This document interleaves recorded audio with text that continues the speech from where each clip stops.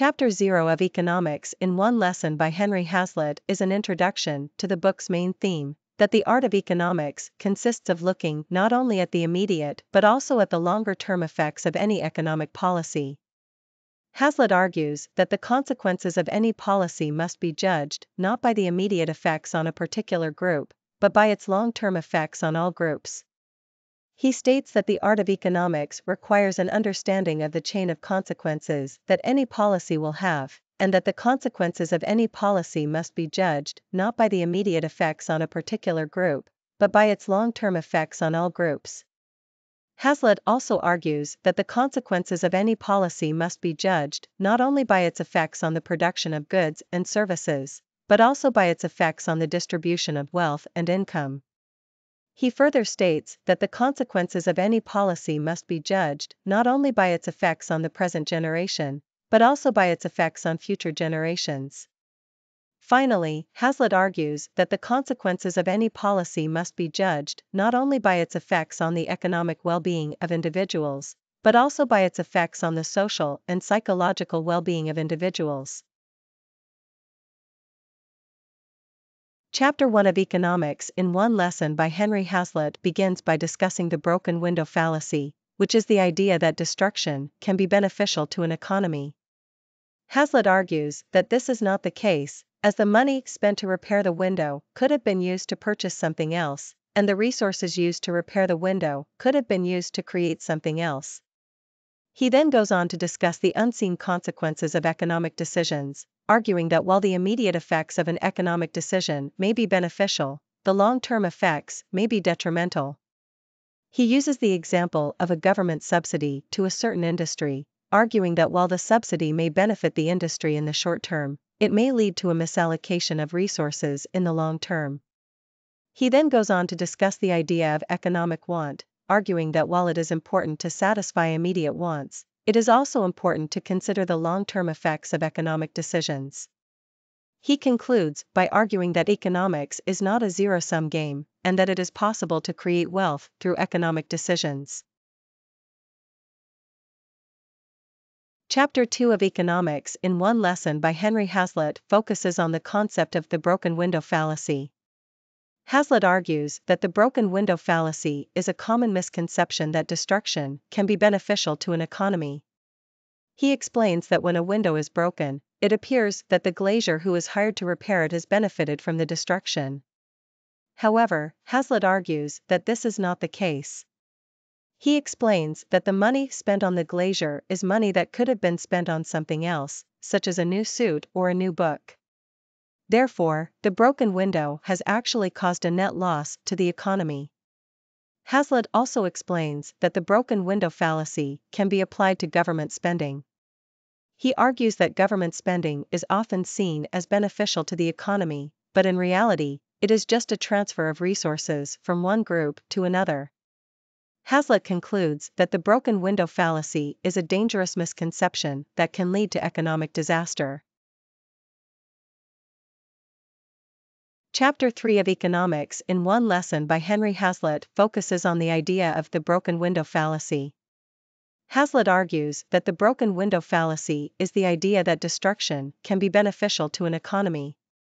He explains that this fallacy is based on the idea that when a window is broken, the money spent to repair it is seen as a benefit to the economy because it creates jobs for the glazier. However, Hazlitt argues that this is a false assumption because the money spent on the window could have been spent on something else, such as a new suit or a book, which would have created jobs in other industries.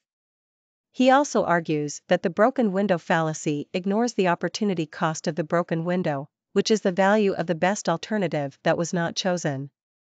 In other words, the money spent on the window could have been spent on something else, and the opportunity cost of the broken window is the value of the best alternative that was not chosen. Hazlitt also argues that the broken window fallacy ignores the unseen effects of the broken window, such as the fact that the money spent on the window could have been saved and used for something else in the future. He concludes by arguing that the broken window fallacy is a false assumption and that destruction is not beneficial to an economy. Chapter 4 of Economics in One Lesson by Henry Hazlitt focuses on the idea of unseen costs and benefits. Hazlitt argues that when making economic decisions, people often focus on the immediate, visible effects of a policy or action, while ignoring the long term, unseen effects. He uses the example of a bridge being built to illustrate this concept. The immediate, visible effects of the bridge are the jobs created for the workers who build it, the money spent on the materials, and the increased convenience of having a bridge. However, the unseen effects are the money that could have been spent on other projects, the resources that could have been used elsewhere, and the taxes that must be raised to pay for the bridge. Hazlitt argues that these unseen costs and benefits must be taken into account when making economic decisions. He also argues that the same principle applies to government policies, such as tariffs and subsidies. He concludes that while it is important to consider the immediate, visible effects of a policy, it is equally important to consider the long term, unseen effects. Chapter 5 of Economics in One Lesson by Henry Hazlitt focuses on the idea of unseen costs and benefits. Hazlitt argues that when making economic decisions, it is important to consider both the seen and unseen costs and benefits. He explains that when a decision is made, the seen costs and benefits are immediately apparent, but the unseen costs and benefits are often overlooked. Hazlitt uses the example of a bridge being built to illustrate his point. The seen benefits of the bridge are the jobs created and the convenience of having a bridge. The unseen costs are the resources that could have been used elsewhere, such as in the construction of a hospital or school.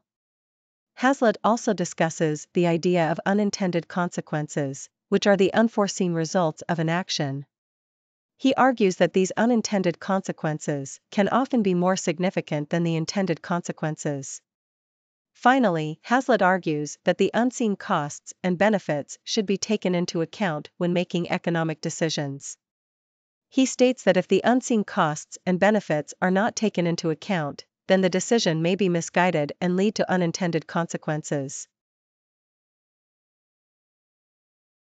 Chapter 6 of Economics in One Lesson by Henry Hazlitt focuses on the idea of spreading the work. Hazlitt argues that the idea of spreading the work is a false economy, as it does not actually increase the amount of work done, but instead only redistributes it. He explains that the idea of spreading the work is based on the assumption that if everyone works fewer hours, then more people can be employed, and thus more work will be done. However, Hazlitt argues that this is not the case, as the amount of work done is determined by the amount of capital available, not the number of people employed. He further explains that if the amount of work is spread out among more people, then the amount of work done will actually decrease, as each worker will have less time to work and will be less productive. Hazlitt also argues that the idea of spreading the work is based on the false assumption that the amount of work available is fixed, when in reality it is not.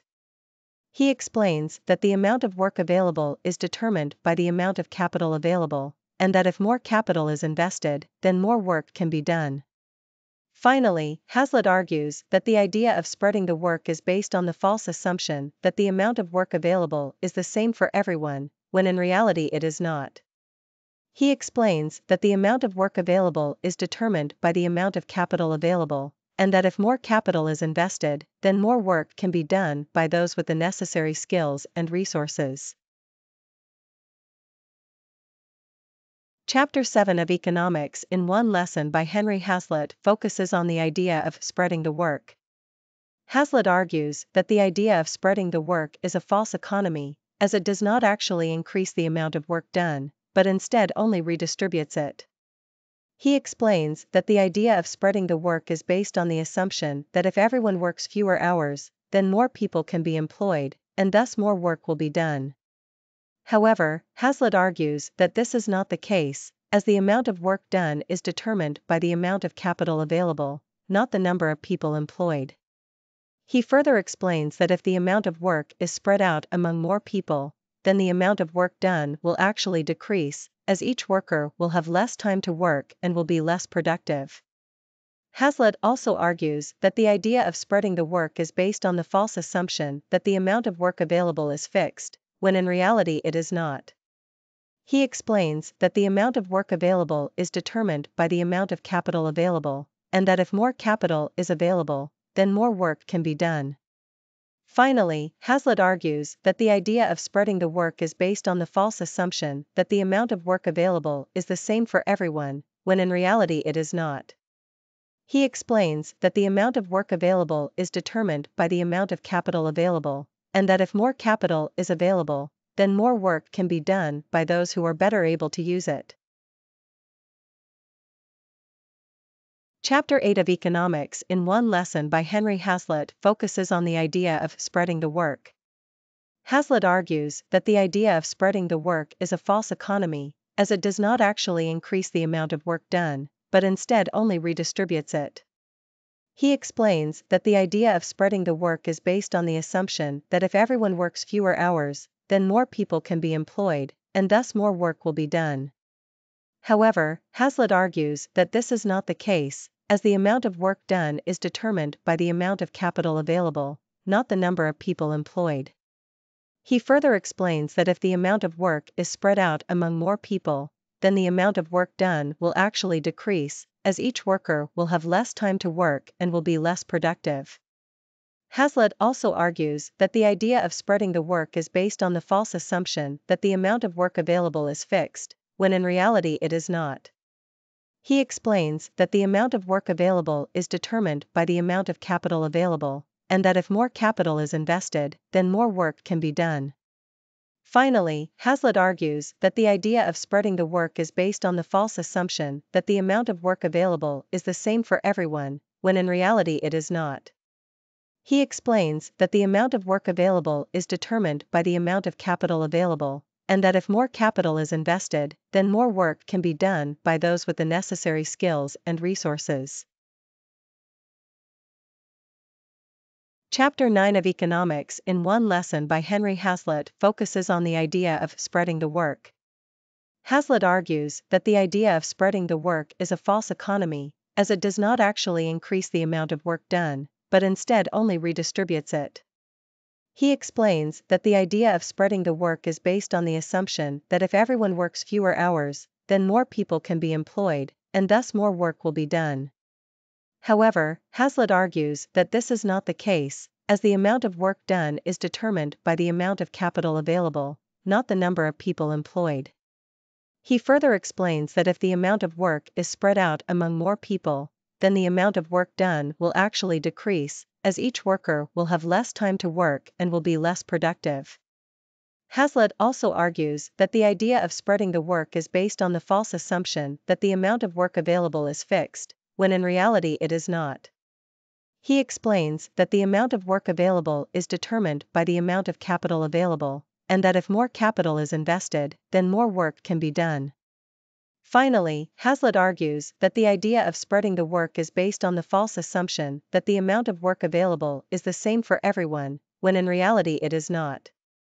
He explains that the amount of work available is determined by the amount of capital available, and that if more capital is invested, then more work can be done by those with the necessary skills and resources. Chapter 10 of Economics in One Lesson by Henry Hazlitt focuses on the idea of spreading the work.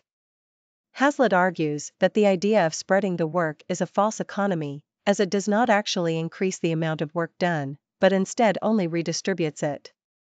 He explains that the idea of spreading the work is based on the assumption that if everyone works fewer hours, then more people can be employed, and thus more work will be done. However, Hazlitt argues that this is not the case, as the amount of work done is determined by the amount of capital available, not the number of people employed. He further explains that if the amount of work is spread out among more people, then the amount of work done will actually decrease, as each worker will have less time to work and will be less productive. Hazlitt also argues that the idea of spreading the work is based on the false assumption that the amount of work available is fixed, when in reality it is not. He explains that the amount of work available is determined by the amount of capital available, and that if more capital is invested, then more work can be done.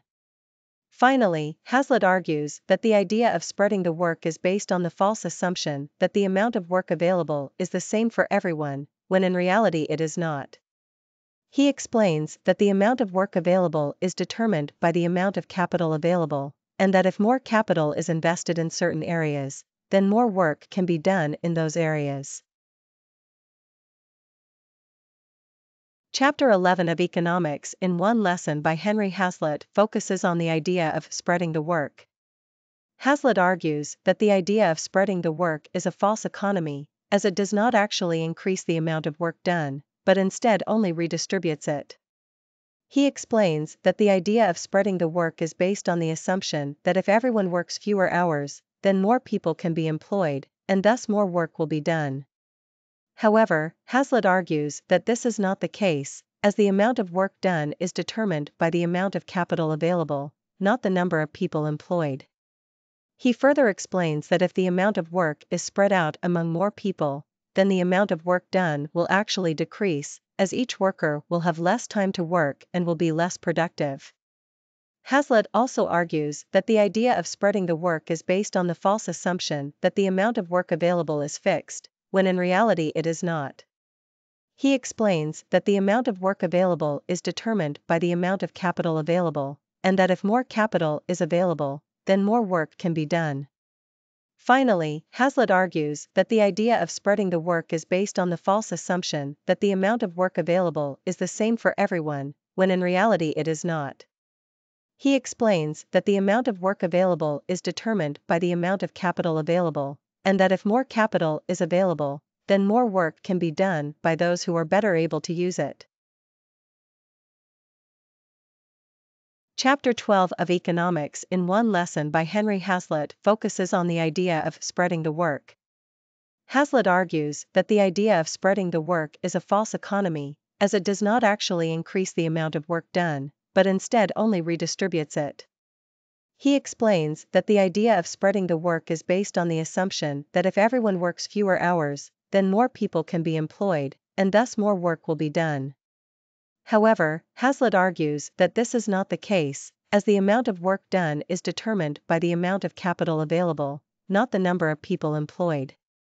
He further explains that if the amount of work is spread out among more people, then the amount of work done will actually decrease, as each worker will have less time to work and will be less productive. Hazlitt also argues that the idea of spreading the work is based on the false assumption that the amount of work available is fixed, when in reality it is not. He explains that the amount of work available is determined by the amount of capital available, and that if more capital is available, then more work can be done. Finally, Hazlitt argues that the idea of spreading the work is based on the false assumption that the amount of work available is the same for everyone, when in reality it is not.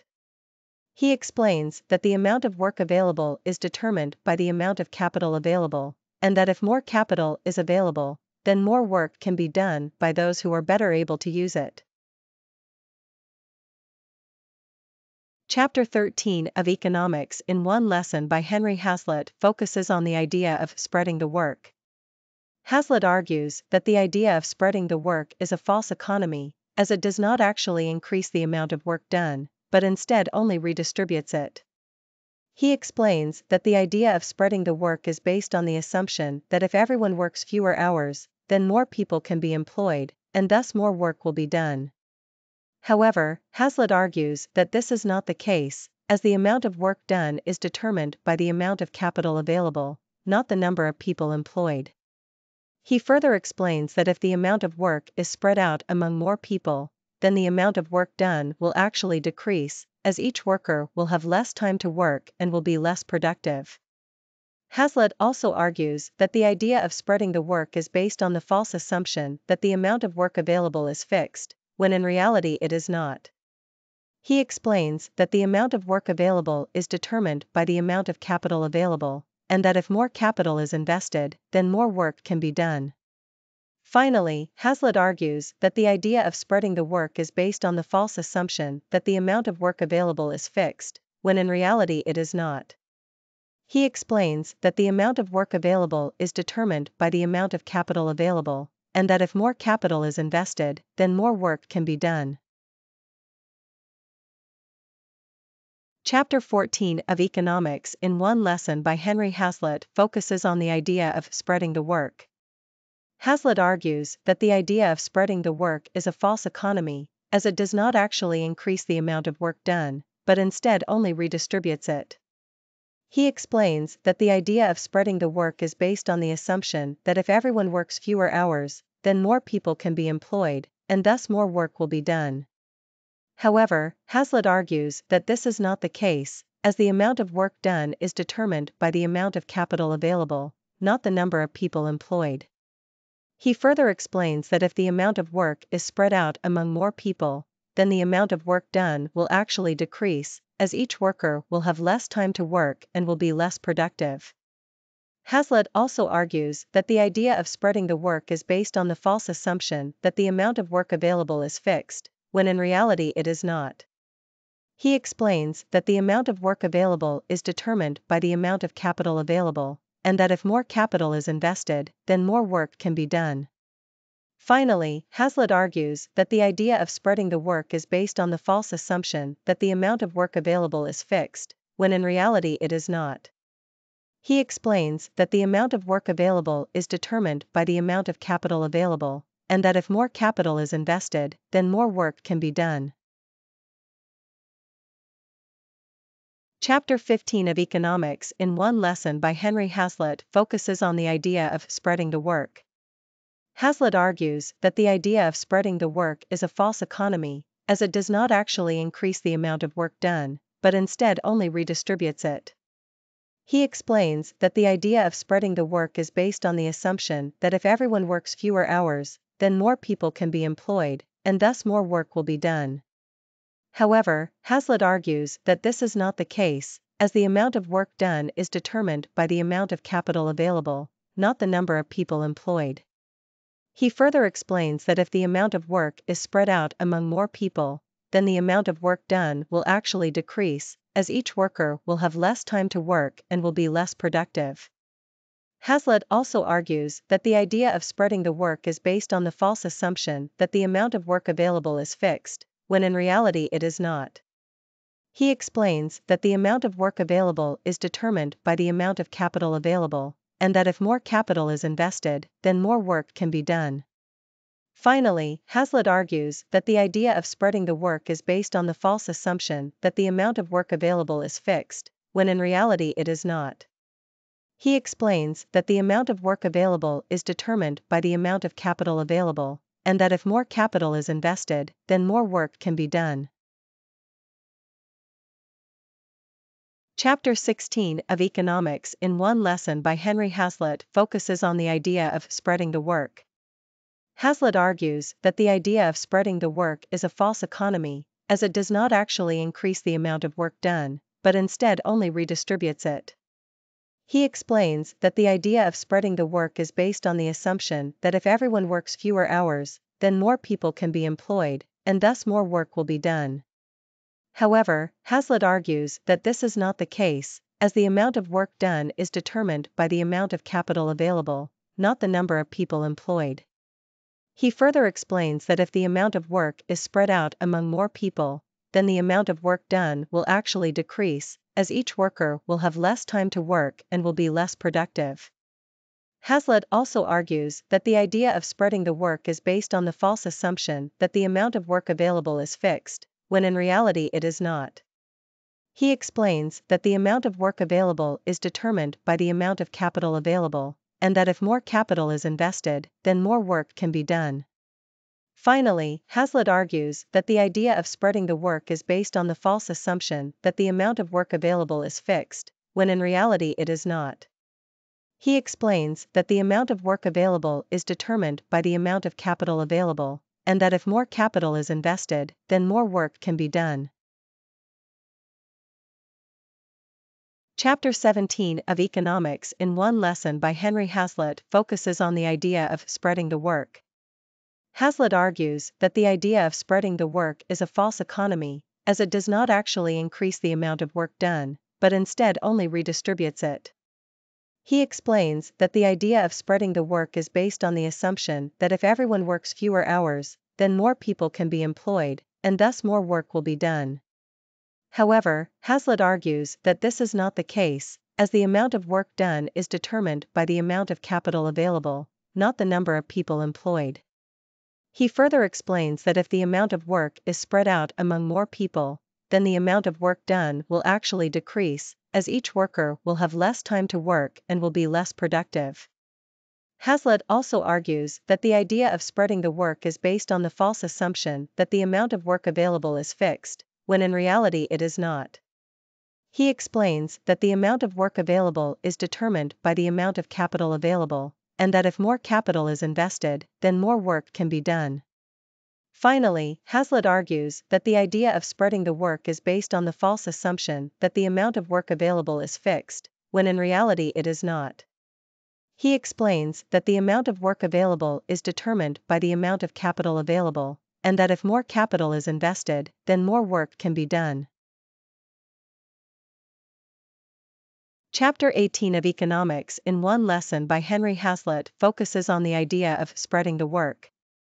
Hazlitt argues that the idea of spreading the work is a false one, as it does not actually increase the amount of work done, but instead only redistributes it. He explains that the idea of spreading the work is based on the assumption that there is a fixed amount of work to be done, and that if it is spread out among more people, it will be done more quickly. However, Hazlitt argues that this is not the case, as the amount of work to be done is not fixed, and that spreading the work does not actually increase the amount of work done. He further argues that spreading the work can actually be detrimental, as it can lead to a decrease in productivity, as well as an increase in costs. He concludes by arguing that the idea of spreading the work is a false one, and that it should not be used as a basis for economic policy. Chapter 19 of Economics in One Lesson by Henry Hazlitt focuses on the idea of spreading the work. Hazlitt argues that the idea of spreading the work is a false one, as it does not actually increase the amount of work done, but instead only redistributes it. He explains that the idea of spreading the work is based on the assumption that there is a fixed amount of work to be done, and that if it is spread out among more people, it will be done more quickly. However, Hazlitt argues that this is not the case, as the amount of work to be done is not fixed, and that spreading the work does not actually increase the amount of work done. He further argues that spreading the work can actually be detrimental, as it can lead to a decrease in productivity, as well as an increase in costs. Finally, Hazlitt argues that the idea of spreading the work is based on a false premise, and that it should be avoided. Chapter 20 of Economics in One Lesson by Henry Hazlitt focuses on the idea of spreading the work. Hazlitt argues that the idea of spreading the work is a false one, as it does not actually increase the amount of work done, but instead only redistributes it. He explains that the idea of spreading the work is based on the assumption that there is a fixed amount of work to be done, and that if it is spread out among more people, it will be done more quickly. However, Hazlitt argues that this is not the case, as the amount of work to be done is not fixed, and that spreading the work does not actually increase the amount of work done. He further argues that spreading the work can actually be detrimental, as it can lead to a decrease in productivity, as people are less likely to work hard when they are working with others. He concludes by arguing that the idea of spreading the work is a false one, and that it should not be used as a justification for government intervention in the economy. Chapter 21 of Economics in One Lesson by Henry Hazlitt focuses on the idea of economic rent and how it affects the economy. Hazlitt explains that economic rent is the payment made to a factor of production in excess of what is necessary to keep it in its current use. He argues that economic rent is not a productive activity and does not add to the wealth of a nation. He further explains that economic rent is a form of unearned income and is not a reward for productive effort. Hazlitt then goes on to discuss the effects of economic rent on the economy. He argues that economic rent can lead to a misallocation of resources, as it encourages people to invest in land and other resources that are not productive. He also argues that economic rent can lead to a decrease in the amount of capital available for productive investment, as it diverts resources away from productive activities. Finally, Hazlitt argues that economic rent can lead to a decrease in the wages of workers, as it reduces the amount of money available for wages. Chapter 22 of Economics in One Lesson by Henry Hazlitt focuses on the idea of spreading the work. Hazlitt argues that the idea of spreading the work is a false economy, as it does not actually increase the amount of work done, but instead only redistributes it. He explains that the idea of spreading the work is based on the assumption that if everyone works fewer hours, then more people can be employed, and thus more work will be done. However, Hazlitt argues that this is not the case, as the amount of work done is determined by the amount of capital available, not the number of people employed. He further explains that if the amount of work is spread out among more people, then the amount of work done will actually decrease, as each worker will have less time to work and will be less productive.